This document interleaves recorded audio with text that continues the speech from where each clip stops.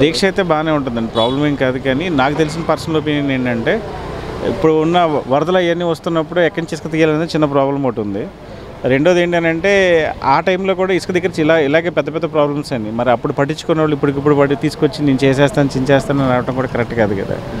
So అదేంటంటే ముందు ఆ ఇసుక రాదు ప్రాబ్లం ఉందన్నప్పుడు దాన్ని ఎలా సాల్వ్ చేయాలో వాళ్ళు సజెషన్స్ ఇస్తే బెటర్ మీరు చేసుకోండి మీరు చేయాల్సిందే మీరు చేయాల్సిందే అని మీద తోయకుండా ఇగో వీళ్ళు ఈ సజెషన్స్ అన్ని ఇస్తే మరి పెద్ద సీనియర్ ఉన్నప్పుడు మరి ఉపయోగం ఉంటుంది సార్?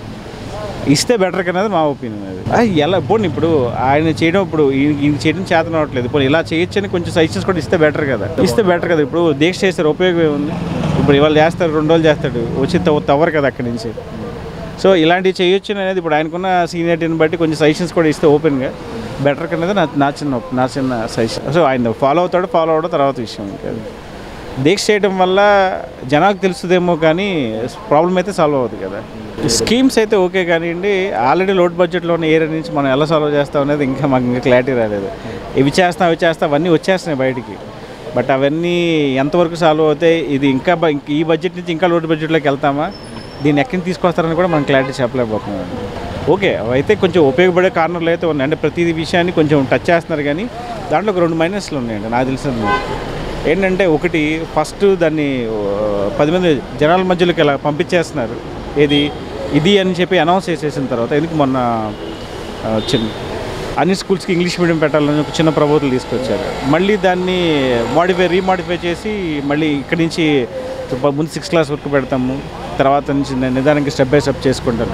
అదేదో ముందే ఆలోచించుకుంటే బెటర్ అనేది నా చిన్న అది కానీ స్కీమ్స్ అయితే అండి. దాంట్లో మనం ఎందుకంటే పిల్లలకు పే- పిల్లలకు పైగా ఒక ఒక ప్యాటర్న్ ప్రకారం వెళ్తున్నాయి ఇవి ఎట్ అన్నీ ఒకేసారి సాల్వ్ చేస్తే మన పరిస్థితి ఏంటనేది మాకు ఇంకా అర్థం కావట్లేదు ఇప్పటికే ఆల్రెడీ మైనస్లో ఉన్నామని అనుకుంటున్నాం. ఇంకా మైనస్లోకి వెళ్తామా? జగన్ గారి పాలన కూడా ప్రస్తుతానికి పర్వాలేదండి. అదంతా అనవసరం అండి. ఎందుకంటే ఇదివరకు బాబు గారు ఏదైనా మాట్లాడితే క్లారిటీ ఉండేది. విషయం ఏదైనా బా మాట్లాడితే క్లారిటీ ఉండేది.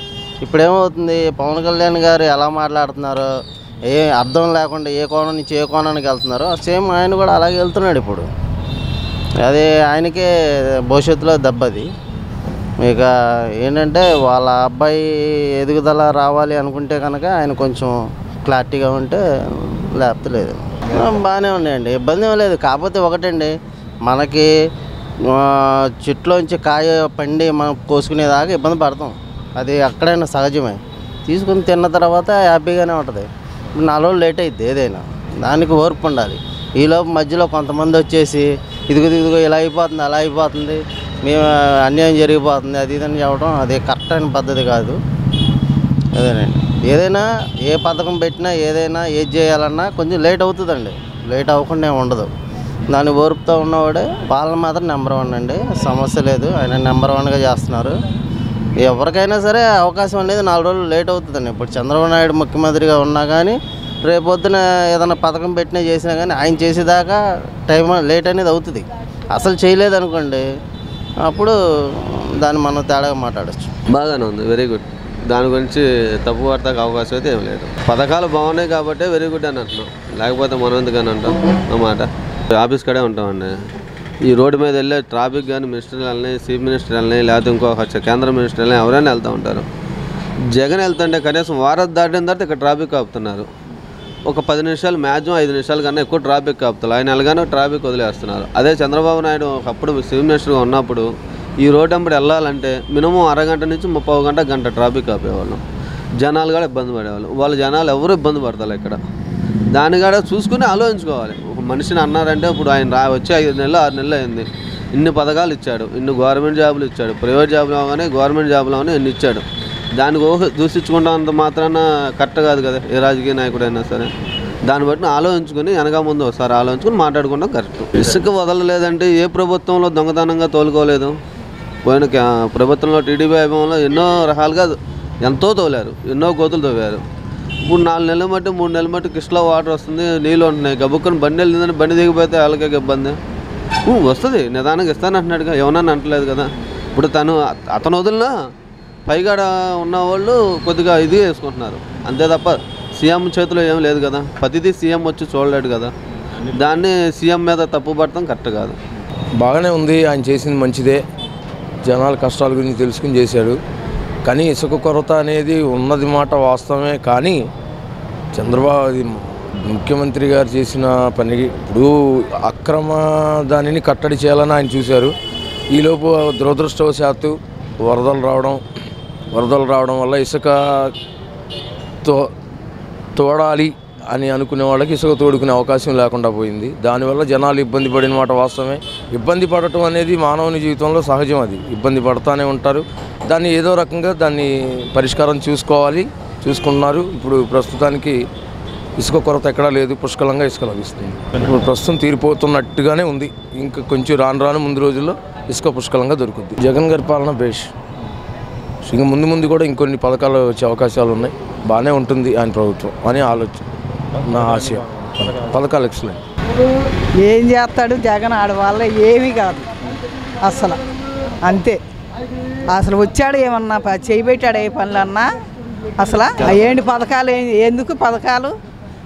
పథకాలు ఇచ్చి నాశనం చేయటం కానీ అంతకన్నా ఏమీ లేదు. ఆడి పాలనే బాగోలే. అసలు నూటికి తొంభై మంది బాగోలేదండి అంతే. ఎక్కడ పడితే అక్కడ రాయటమేనంట. అందరు గొడవేగా. అదే ఆటో వాళ్ళకి పదివేలు వేయటమును ఏంటి ఎక్కడ పడితే అక్కడ కేసులు రాయటం వెయ్యి రూపాయలు రెండు వేలు రాయటం అంట దానికి దీనికి తీసుకెళ్ళి అక్కడ కట్టి రావటం డబ్బలు కట్టుతున్నారంట. అందరు గొడవే. చెప్తున్నారు ఆటో ఎక్కితే చెబుతున్నారు. పాత వాళ్ళు వెళ్ళిపోయి కొత్త వాళ్ళు వస్తూనే ఉంటారు. రాజకీయ పార్టీలు అన్న తర్వాత పబ్లిక్ కోసం చేశారు. ఇబ్బందులు పడుతున్నారని. చే చేయరాని టైంలో ఆపేశారు. వరదలు తర్వాత వచ్చినాయి. ముందు ఆపింది చెప్పట్ల. ఇప్పుడు వరదలు వచ్చినాయి అని చెబుతుంది ప్రభుత్వం. ముందు వ్యాపారంగా కానివ్వండి వర్కర్స్కి కానివ్వండి చాలా ఇబ్బందులు పడుతున్నారు. ఇది ఒక వరదలతో వచ్చిన సమస్య కాదు. ముందుగా ఇబ్బందులు లేని రోజు ఇబ్బందులు కొని తెచ్చి పెట్టారు రెండవది కన్స్ట్రక్షన్ వాళ్ళకి కమిట్ అయి ఉంటారు. వాళ్ళు డబ్బులు రేటు పెరిగింది. ఒక స్లాబ్ వేస్తే సపోజ్ లక్ష అయ్యేది రెండు లక్షలు పెట్టి ఇసుక తెచ్చారు మాకు తెలిసిన వాళ్ళు. ఆ డబ్బు ఎవరి మీద పడాలి? ఆ లోడు పడుతుంది కన్స్ట్రక్షన్ మీద పడుతుంది మిగతా కొనుక్కునే వాళ్ళ మీద పడుతుంది. పని జరగదు. ఇవాళ ఐదు నెలల్లో అనుకున్న పని సంవత్సరం పట్టేటట్టు కనపడుతుంది. వర్కర్స్ కొంతమందికి తిండి కూడా సరిగా తినలేకపోతున్నారు. వర్కర్స్ ఏంటి? ఏ రోజు తెచ్చుకున్న డబ్బులు ఆ రోజే ఖర్చు పెట్టేసుకుంటారు. రేపటికి మిగలవు. వాళ్ళు నలుగురు ఐదుగురు ఉంటారు తెచ్చేది ఇద్దరు ఉంటారు. ముందు పేదరికం బాగా ఇంకా ఇబ్బందులు పడుతున్నారు. అందుకని ప్రభుత్వానికి సూచన ఏంటంటే ఇది ఒక్క రోజుతో పూర్తయ్యేది కాదు. వాళ్ళు రావటం ప్రభుత్వమే దీనికి అగ్గిపొల్ల గీశారు. ఇసుక్కి. వాళ్ళకి వాళ్ళకి లెక్కలు ఏమున్నాయో సిమెంట్ ఫ్యాక్టరీలకి ప్రభుత్వానికి వాళ్ళకి తెలియాలి. కానీ ఇసుక దెబ్బ సామాన్య జనాన్ని వెన్ను విరిచింది. ముందు కింది స్థాయి వాళ్ళని.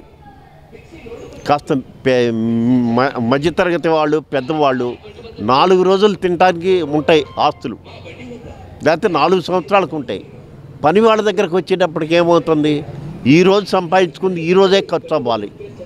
అంటే తినడానికి సరిపోతాయి. ఐదుగురు పని చేస్తే ఐదుగురు పని చేయలేరు కదా. మరి వాళ్ళకి ఎక్కడి నుంచి వస్తాయి? వాళ్ళు పని చేస్తేనే. అందులో కన్స్ట్రక్షన్ అనే ఇసుక దెబ్బ అనేది ఒక రకం కాదు పదిహేను రకాల మీద దెబ్బ పడింది ఆధారపడి ఉంటాయి. అందుకని ఇసుకే అని అంటాం కానీ డైరెక్ట్గా దానివల్ల దెబ్బ దెబ్బ తినేది పన్నెండు మంది. స్టీల్ రేటు తగ్గింది వ్యాపారస్తుడి దెబ్బ. స్టీల్ తెస్తాడు. ఆ రేటు అమ్ముకుంటేనే అతనికి వర్కౌట్ అవుతుంది. మార్కెట్ తగ్గింది సప్లైస్ పెరిగి సేల్ లేక గోడౌన్లో ఖాళీ లేక ఎంతో కొంత డిస్కౌంట్ ఇస్తున్నారు. కానీ వాళ్ళ దగ్గర నుంచి మూవ్ అవ్వట్లా. వాళ్ళు కూడా నష్టపోయారు. అందరికీ నష్టమే. మేజర్గా ఆ కొన్ని వందల కోట్లు దెబ్బతిన్నది మార్కెట్. అది వర దాని తర్వాత వరదలు వచ్చినాయి. ముందు రెండు నెలలు ఇసుక యాక్ట్ ఏదో మారుస్తున్నామని పెండింగ్ పెట్టారు. అది వెంటనే తేల్చకుండా. ప్రభుత్వంలో ఏముంది? ఎల్లుండి నుంచి మారుస్తున్నాం ఈరోజు ఇసుక పెరిగింది అంటే ఇంప్లిమెంట్ అయిపోద్ది. అందుకే దానికి రెండేళ్ళు మూడు నెలలు పెట్టుకోవాల్సిన పని ఏంటి ప్రభుత్వం రాగానే సామాన్య మానవుడు ఎన్ని ఇరగ్గొట్టేశారు అసలు. వాళ్ళు తీర్చుకోలేరు ఇంతమంది చచ్చిపోవాలా? కేవలం నలభై వేల మంది ఆర్టీసీలో తెలంగాణలో స్ట్రైక్ చేస్తుంటే ఎంతమంది? ఆరు నుంచి పది మంది చనిపోయారు. ఇక్కడ యాభై మంది పైన చనిపోయారు. అంటే ఇది ఎన్ని లక్షల మంది ఇబ్బంది ఉంటుంది? అది ఇప్పటికిప్పుడు ప్రభుత్వం గుర్తించినా వాళ్ళు భోజనం పెట్టినా సబ్సిడీలు ఇచ్చినా అది దాన్ని ఏం కవర్ చేయలేని పరిస్థితి. అవసరం అవసరం లేని టైంలో దాన్ని ఆపేశారు. దాని తర్వాత వాతావరణాన్ని బట్టి రైన్స్ పెరిగినాయి ఆ రెండేళ్ళు ఫ్రీగా ఉంటే కొంతవరకు రైనీ సీజన్లో ఏంటి బిల్డర్ ఎవరైనా కొద్దిగా స్టాక్ పెట్టుకుంటాడు. ఇప్పుడు ఆ పరిస్థితి కూడా లేదు. టీడీపీ పరిస్థితి ఏముందండి? అది అది ఎప్పుడు పాములో ఉండే పార్టీ. ఇప్పుడు కాదు ఇంకో ఇంకో రోజు కానీ అధికారంలోకి వచ్చే పార్టీ ఎంతమంది వెళ్ళిపోయినా కానీ ఆ పార్టీకి ఏమైందండి? ఇప్పుడు అమ్- అమ్మ తిట్టిందని అమ్మ మీద అడుగుతామా నాన్న కొట్టే నాన్న మీద ప్రేమ పోయిద్దా? పార్టీ పాములో లేదని పార్టీ మీద ప్రేమ పోయిద్దా? పార్టీ ఎక్కడికి వెళ్దండి? ఇప్పటికైనా అధికారానికి వచ్చే పార్టీ అది.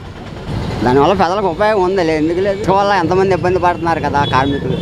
మరి దానివల్ల ఆయన పెట్టింది కరెక్టే కాదండి ఇప్పుడు ఇప్పుడు చాలామంది ఇసుక లేక ఐదు నెలల నుంచి కనీసం నెలల్లో పిల్లలకి పెట్టుకునే వాళ్ళు కూడా ఉన్నారు. టాప్ పని చేసుకొని అప్పటికప్పుడు తీసుకెళ్ళి తినే వాళ్ళు కూడా చాలామంది ఉన్నారు. మరి దానివల్ల చాలామంది ఇబ్బంది పడుతున్నారు కదా. సొత్తనే ఉన్నారు కదా జనాలందరూ. కదండి జనాలందరూ సొత్తనే ఉన్నారు కదా. మా అభిప్రాయం ఉంది. జనాన్న సొత్తానే ఉన్నారు అది అన్నారు ఇది అంటారు. ఏది ఏది చేయట్లా మరి? ముందు ప్రజల గురించి అసలు ఎవరు పట్టించుకోవట్లా? నాయకులు ఇప్పుడు ఈ వీడియో గనుక మీకు నచ్చినట్లయితే లైక్ చేయండి షేర్ చేయండి. మరిన్ని వీడియోస్ కోసం మా ఛానల్ను సబ్స్క్రైబ్ చేయండి.